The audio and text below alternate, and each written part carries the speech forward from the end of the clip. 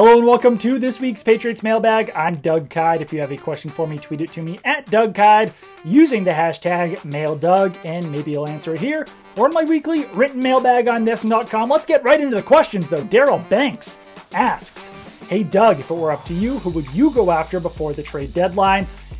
A wide receiver and a high end wide receiver because the Patriots have those number two, three, four type guys with Julian Edelman and Damiere Byrd and N'Keal Harry. I'm not sure if it would be really even be worth adding a guy like John Ross or Curtis Samuel, same players in that ilk.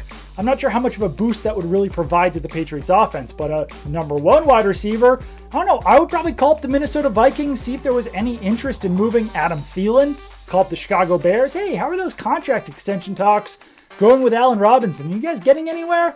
Maybe call the Cleveland Browns about Odell Beckham Jr., see how he's feeling in this exact uh, instant and see if they would be willing to move on from him too, because those are the type of players that the Patriots could use at the wide receiver position, players that Cam Newton could trust to throw to, even if they're not completely open. Second question here, DJ Wynn asks, how do you see the quarterback situation playing out going into next season?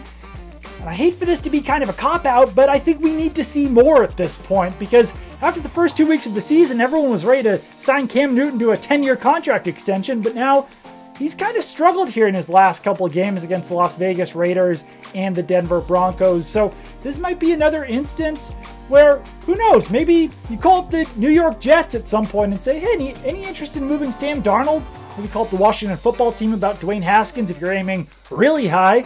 Maybe call up the Dallas Cowboys about Dak Prescott because they've never really been willing to commit to him long term. He's dealing with the injury. His value's never been lower. So I don't know. I think anything's on the table. Maybe even Jimmy Garoppolo. Maybe he could come back next season. A rookie, a free agent, a trade. And then obviously the in house options are still on the table as well with Cam Newton if he improves over the course of the season or someone like Jarrett Stidham. I know he didn't play very well against the Chiefs, but he could still be an option moving forward as well. But it's just way too easy to tell what that position will look like in 2021. Now, final question Kyle asks Does the Patriots' lack of skill position talent have more to do with identifying talent or the coaching staff at those positions' inability to develop it? And I would put that more on the coaching staff because you look at N'Keal Harry, for instance, it wasn't a shock that the Patriots took him in the first round. He was kind of a fringe first or second round pick. Uh, same thing with Devin Asiasi this year. He was definitely in the mix in the third round there. So the Patriots bring them in, and now they're not contributing. So I do think that it is more on the coaching side, and it's even the complexity of the Patriots offense. It's hard to learn. Uh, so I would put that more on the coaching staff than I would on the scouting department. Obviously, it's a big picture issue where there's issues all over the place as far as identifying and coaching wide receivers and tight ends.